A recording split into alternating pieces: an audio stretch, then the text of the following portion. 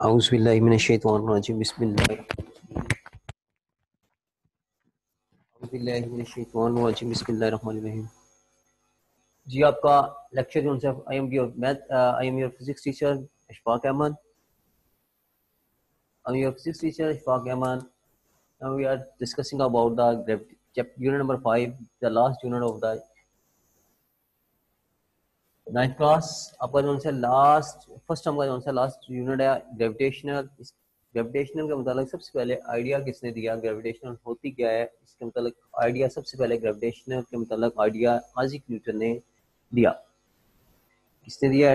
Gravitational के मुताबिक सबसे पहले idea of the the first man who give the idea of the gravitational इसका नाम था Isaac Newton The first man who gave the idea, his name is Isaac Newton. He was in even in 1665 यानी 1665 यानी सोलह सौ पैंसठ की एक दिन जो है वो इन सेंचुरी के अंदर यानी 16 यानी सोलह सौ पैंसठ 1669 में जो उसने ग्रेविटेशनल के मतलब आइडिया दिया we it was evening of the 1967 he was trying to solving the itself why the planets rolling around the earth. यानी अर्थ के करीब जो उनसे हैं, वो प्लेनेट जो उनसे हैं, वो क्यों रिवॉल्विंग करते हैं? सन सन के करीब गिरते हैं suddenly an apple is fall from the tree tree के ऊपर से जो उनसे है, वो एक जो उनसे क्या हुआ? एप्पल जो उनसे नीचे गिरा। गिरा एप्पल जो है fall from the under which he was sitting जिसके नज़दीक नीचे जो है वो बैठा हुआ था the idea of gravity finish his mind flash his mind उसके जहन के अंदर जो है वो आइडिया ऑफ़ ग्रेविटी फिनिश निकल आया he discovered the only the cause of the feeling apple but also cause the make the planets to revolving around the earth sun and the moon revolving around the earth यानी around the sun and the moon around the earth यानी ज़मीन जो सी है वो सूरज के गिर्द घूमती है और सूरज जो सी है मून जो है वो ज़मीन के गिर्द घूमता है। दिस दिस यूनिट यानी इस यूनिट के अंदर हम जो है, ये मुख्तलिफ़ जो है। रिवॉल्व क्यों ये रिवॉल्व करते हैं और क्यों जो है, ये आपके अंदर जो है, ये होते हैं।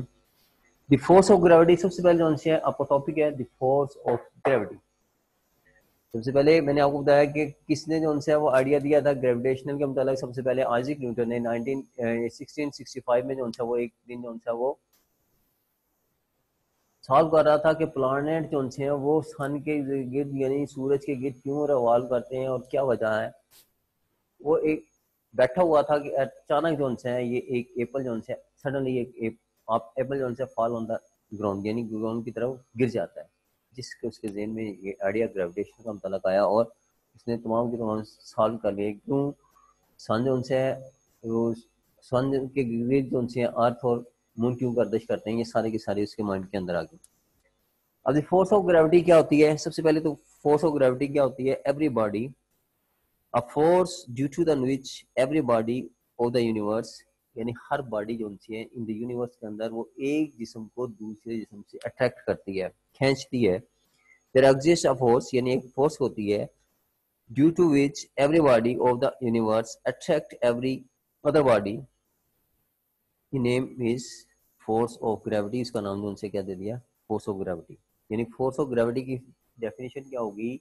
इन यूनिवर्स यूनिवर्स के अंदर जो उनसे तमाम की तमाम चीज़ें जो उनसी हैं वो एक दूसरे को अट्रैक्ट करती हैं।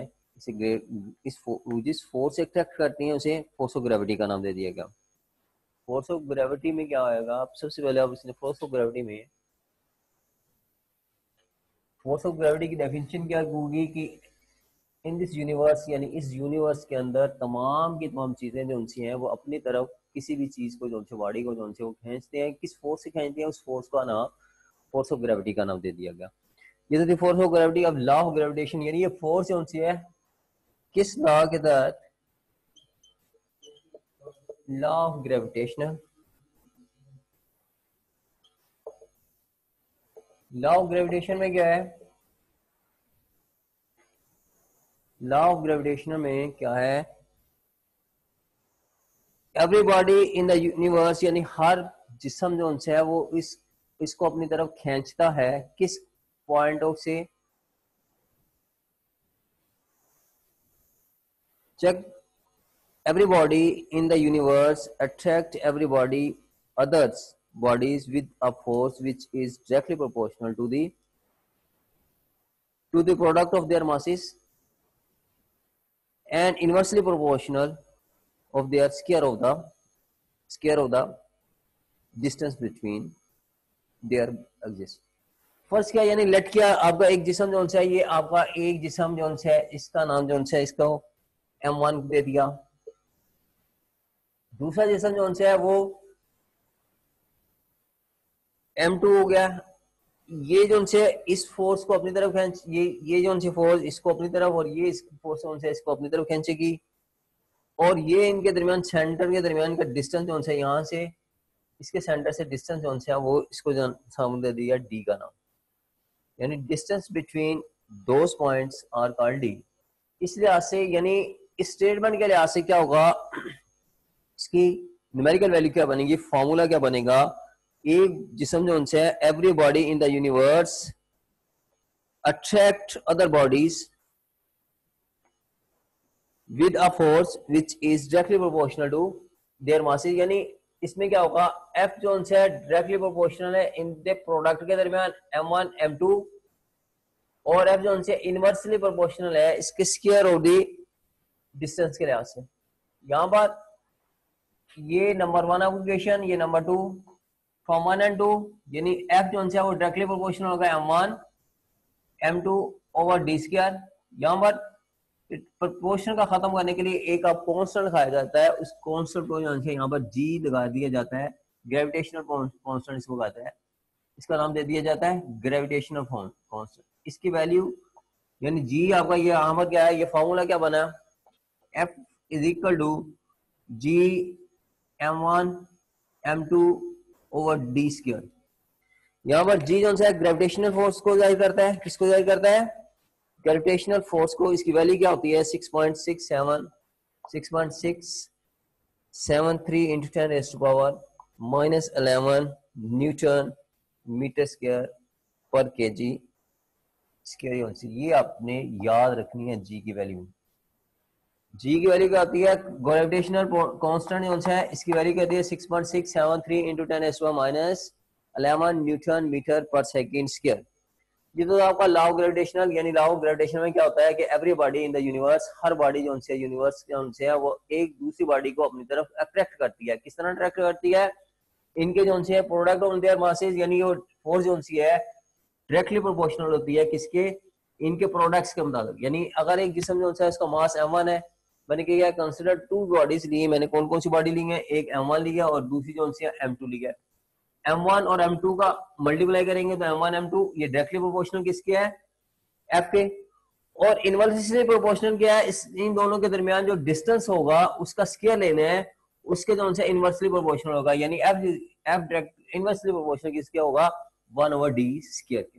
यानी डी स्केयर के इनवर्सली होगा। अगर इन दोनों को कंबाइन करें, यानी ये f, इसके भी ये तो क्या हो जाएगी? F डायरेक्टली प्रोपोर्शनल किसके है? M1 m2 over D square अब प्रोपोर्शनल यानी आपने डायरेक्टली प्रोपोर्शन का साइन खत्म करने के लिए, इसे इक्वेशन बनाने के लिए कॉन्स्टेंट लगाया जाता है। यहाँ पर कॉन्स्टेंट क्या है आपका? जी जी क्या आ गया? ग्रेविटेशनल कॉन्स्टेंट आ गया। F is equal to G M one M two over D square यहाँ पर जी की कीमत क्या होती है? Six point six three seven two seven three into ten is minus eleven उसके बाद आपका आता है law of gravitational constant and Newton third law of motion आप जानते हैं न्यूटन का थर्ड लॉ ऑफ़ मोशन क्या होता है? Every action have a reaction हर अमल का रद्द अमल होता है, लेकिन वट अपोजिट डायरेक्शन लेकिन मुखालिफ सिमत में। Every action have a reaction but opposite direction इसीलिए से it is the it is be notice that the mass m1 attract m2 यानी अभी आपने एक मिसाल ली थी, ये आपका m1 जो है? ये अट्रैक्ट कर रहा है m2 को। इसी तरह m1 अट्रैक्ट कर रहा है M2 को और M2 टू जो है वो अट्रैक्ट कर रहा है M1 को। यानी दोनों मासेज जो है M1 यानी it is notice that M1 attract M2 it will be force यानी F while the mass M2 to attract M one towards which the force of the same magnitude but in opposite direction लेकिन ये क्या है opposite direction में है। If the forces attract on m1 is considered as action यानी m1 को आप आप कंसीडर करें एक्शन के तो m2 की फोर्स कौन सी हो आपकी रिएक्शन की होगी इसी तरह जब m1 को आप रिएक्शन कहेंगे एक्शन कहेंगे तो m m2 को जो सा एक्शन कहेंगे तो m1 जो सा आपका रिएक्शन हो जाएगा equal to the magnitude opposite in the direction this is the considered the newton's third law of motion यानी यही क्या करता है आपका न्यूटन का थर्ड लॉ ऑफ़ मोशन कहलाता है। अब इसको आता है ग्रेविटेशनल फ़ील्ड ग्रेविटेशनल फ़ील्ड क्या होती है? फ़ील्ड स्ट्रेंथ यानी कोई भी जिसम जो है, एक बॉडी जो सी है ग्रेविटेशनल फ़ील्ड क्या होती है? वो force of gravity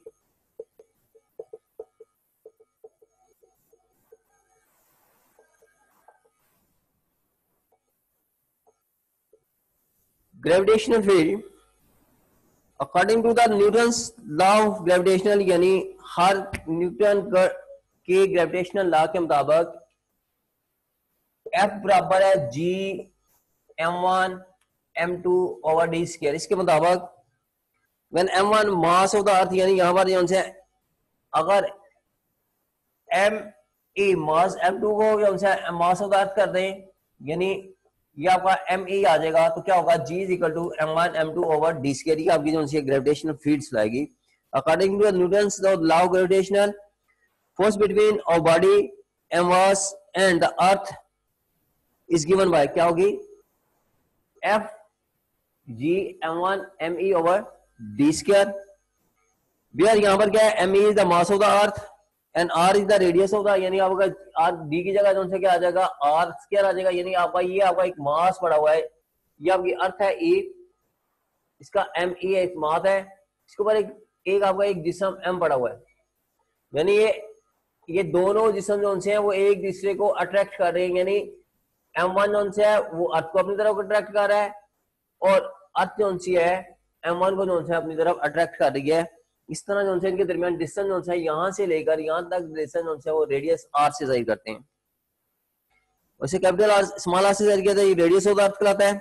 The weight of the body due to the gravitational force which will the earth attract a body, gravitational force is non countable यानी इसको कंस्ट्रक्ट बॉडी जो से करती है। For example the value of the body upward going the direction while on return to the velocity go on the increasing this is due to the gravitational pull of a earth attract on the body whether the body is contact with the earth or not such a force is called field strength force यानी अब आपके अब ये field force क्या होगी इसकी example देखें field force जब किसी जिस्म को जो है आप किसी भी कोई भी जो है ये अर्थ के ऊपर जो है ये एक फ़ील्ड जो है बनता है, यानी फोर्स जो है इसको अपनी तरफ़ यानी ये आपकी all of the direction force जो है अर्थ जो है अपनी तरफ़ खींच रही होती है, ये फोर्स कौन सी है ये वाली फोर्स क्या कहलाती है? फ़ील्ड फोर्स यानी फ़ील्ड अर्थ की तरफ़, अपनी की तरफ़ खींचने वाली फोर्स कौन सी है वो क्या कहलाती है? फ़ील्ड स्ट्रेंथ इसको क्या नाम दे दिया गया। फ़ील्ड स्ट्रेंथ नाम दे जिससे तमाम के तमाम जिसम जो हैं, वो अर्थ की तरफ़, यानी ज़मीन की तरफ़ कहते हैं ग्रेविटेशनल फ़ील्ड भी कहा जाता है। It is gravitational field exist all around of the earth the field is direction towards the come to the earth यानी इसकी डायरेक्शन सी है? क्या होती है? ज़मीन की तरफ़ होती है। In the in the gravitational field of the earth the gravitational force per unit mass is called the gravitational field strength यानी एक यूनिट यानी अब आप अर्थ का जो सा एक यूनिट लेना है, यानी एक मीटर ले लें, एक सेंटीमीटर ले लें, एक जो सा वो किलोमीटर ले लें। उस पर जो सी फोर्स जो सी होगी यूनिट एरिया पर, जो फोर्स जो से अप्लाई हो रही होगी, उसे क्या कहेंगे? ग्रेविटेशनल फ़ील्ड स्ट्रेंथ वो क्या कहलाएगी? ग्रेविटेशनल फ़ील्ड स्ट्रेंथ कहलाएगी। थैंक यू वेरी मच अब आपका नेक्स्ट जो है आपका हाफ़ चैप्टर हो गया। नेक्स्ट चैप्टर जो है वो नेक्स्ट लेक्चर में डिस्कस किया जाएगा. थैंक यू वेरी मच तो टूर्नामेंट